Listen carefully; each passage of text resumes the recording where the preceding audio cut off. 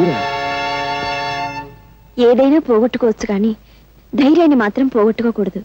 ధైర్యే సాహసే లక్ష్మి గారు. ఏమిటి కంగారు? నేను ఇప్పుడు ఆపదలో ఉన్నాను. పోలీస్ వాళ్ళు అంత రూమ్కి వస్తారు. Please help me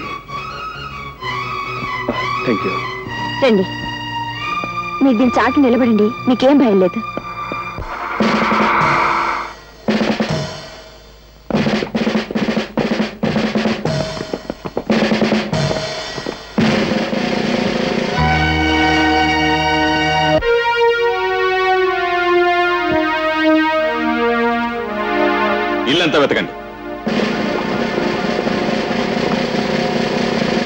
ఏమిటి నాన్న ఇది?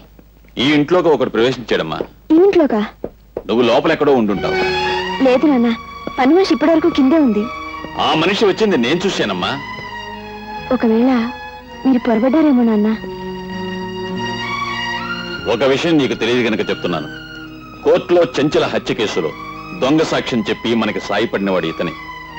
సావధానంగా ఆలోచించమ్మా. ఆ రోజు నీ భర్తను రక్షించమని అడిగావు. ఈ రోజు నీ భర్తను రక్షించుకుంటావో. లేక వేరెవరి కోసమో ప్రాణదానం చేస్తావో. బాగా ఆలోచించమ్మా. అతన్ని గురించి నీకు తెలియదమ్మా. నిజంగా రక్షణ కావలసి వాడిని ఇంట్లో దూరలేదమ్మా. హత్య జరిగింది ఇక్కడేనని నీకు నాకు తెలియజెప్పడానికే వచ్చాడు. ఈ కేసే తవ్వబడితే నువ్వు లేవు నేను లేను ఆఖరికి నీ భర్త కూడా ఉండడు. ఒక్కసారి ఆలోచించమ్మా. అతన్ని మనం పట్టుకోవాలి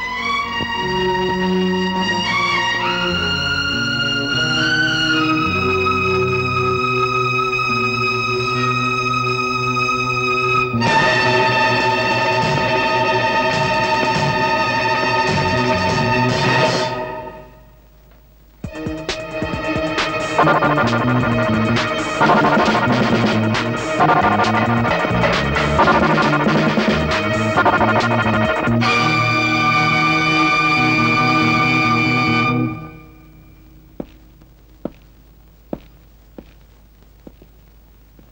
భయపడకమ్మా. ఆ కుర్రాడి చెల్లెలు నా చేతుల్లో ఉంది.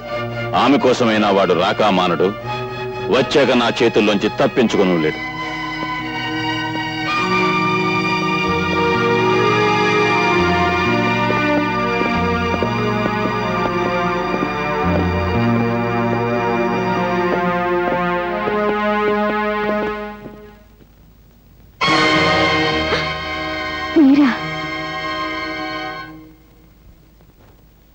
క్షమించండి.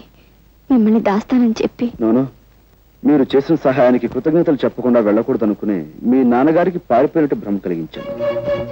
మీ తండ్రి కూతుల సంభాషణ విన్నాను. పాపం నేను మా చెల్లెల్ని రక్షించుకోవడానికి వెళితే అదును చూసి పట్టుకోవచ్చనే ధీమలో ఉన్నట్టున్నారు. ఫోన్ చేసి చెప్పండి నేను అందుకే వెళుతున్నాను.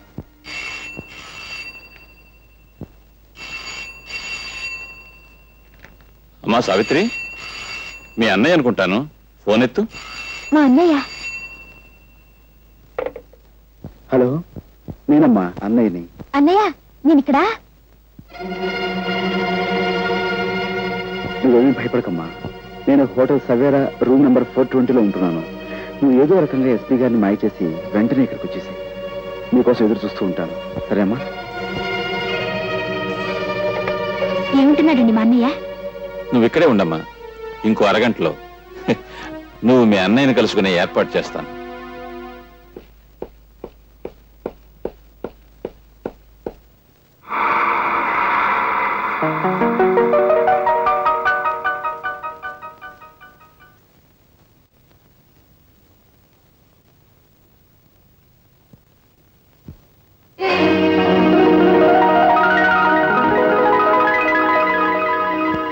అన్నయ్య అతను మనకి విరోధి. వెళ్ళదు నీకే చెప్పేది కూర్చో.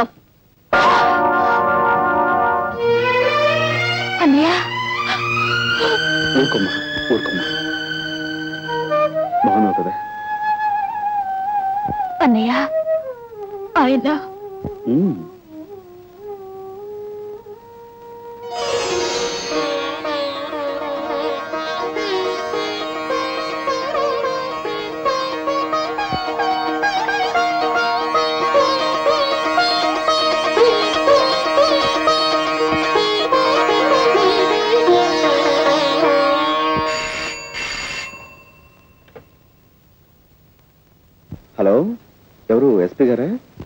నమస్కారం సార్. రాజాని మాట్లాడుతున్నాను.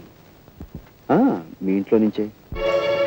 మిమ్మల్ని బయటికి పంపించి మీ ఆధీనంలో ఉన్న నా చెల్లెల్ని నేను తీసుకెళ్ళిపోతున్నాను. మీరు ఉద్యోగరీత్యా న్యాయాన్ని రక్షించాల్సిన పెద్ద పోలీస్ ఆఫీసర్. కానీ నిజంగా మీరు న్యాయాన్ని రక్షిస్తున్నారా? No sir. హత్య చేసిన మీ అల్లుని రక్షించారు. మీ కూతురు జీవితాన్ని ఉద్ధరించారు. అందుకోసం ఓ అమాయకుడి హంతరుగా మార్చారు. అతనికి శిక్ష పడేలా చేస్తారు. ఇది న్యాయం అంటారా? ఇది ధర్మం అంటారా? సార్ ఒక్కసారి మీరు వేసుకున్న కాకి బట్టల వంక చూసి ఆలోచించండి సార్.